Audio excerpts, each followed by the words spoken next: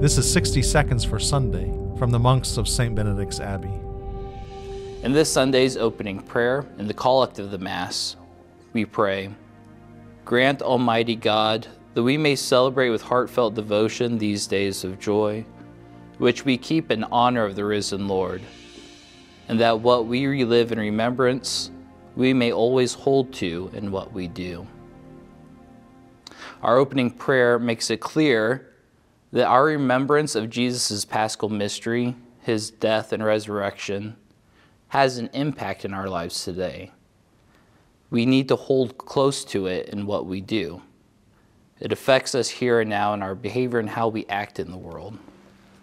And so we should ask ourselves, I should ask myself, what does Christ's resurrection mean for me? Did Christ die for me so that I could gorge myself on chocolate bunnies and jelly beans?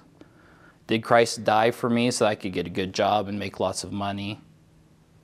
No. St. Paul tells us that if for this life only we've hoped in Christ, of all men we are most to be pitied. But in some ways also, Christ did die for those things. Christ died to show us that whatever joy we experience here in this life is just a foreshadowing of the good things, of the great glory God has in store for us in the life to come. For more from St. Benedict's Abbey in Atchison, Kansas, see our website, kansasmonks.org.